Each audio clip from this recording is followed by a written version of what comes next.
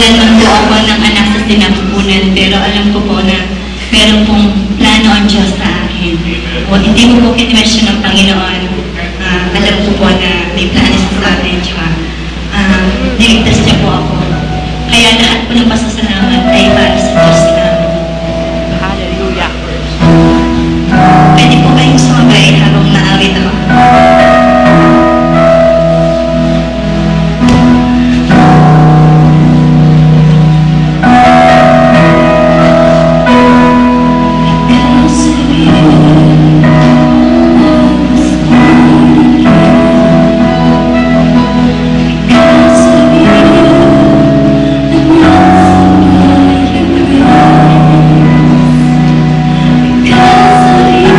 you.